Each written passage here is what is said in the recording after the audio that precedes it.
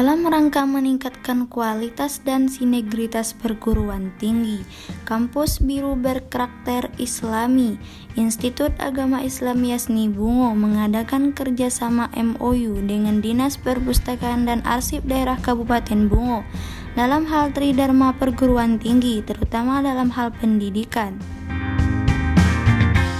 Kegiatan tersebut berlangsung di perpustakaan daerah Kabupaten Bungo sekitar jam 8 waktu Indonesia bagian Barat.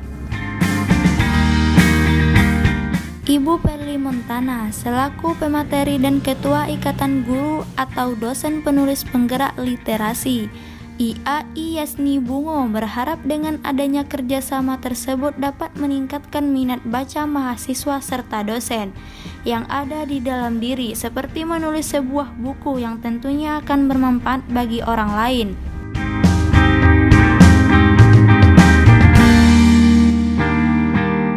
Ya harapan saya dengan MOU uh, hari ini antara IAI Yasni Bungo dengan perpustakaan Dinas Perpustakaan Arsip dan Dokumentasi Kabupaten Bungo kita lebih bisa bersinergi dan bekerja sama dalam hal pelaksanaan tridharma perguruan tinggi uh, seperti pendidikan.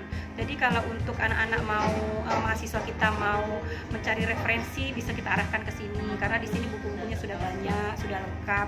Mereka sudah bertransformasi tidak hanya sebagai sumber informasi tapi juga bisa dijadikan sebagai tempat pusat uh, apa namanya pendidikan. Di sini bisa ada forum-forum, bisa ada workshop-workshop di sini. Nah, kemudian untuk pelatihan, nah di sini juga seperti yang kita lakukan hari ini, alhamdulillah ibu diberi kesempatan untuk menyampaikan materi di sini. Jadi kita sudah bisa uh, pelatihan sekaligus juga pengabdian masyarakat. Artinya dosen-dosen kita bisa uh, berkontribusi di sini untuk memberikan ilmu pengetahuan, keterampilan yang mereka miliki.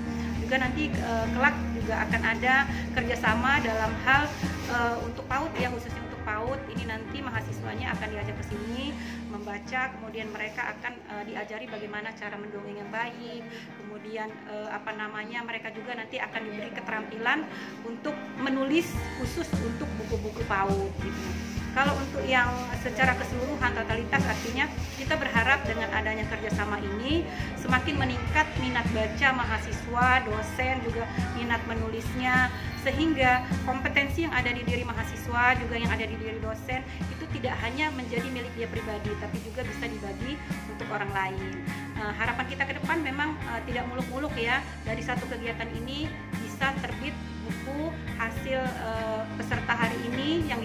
juga ada dosen-dosen kita.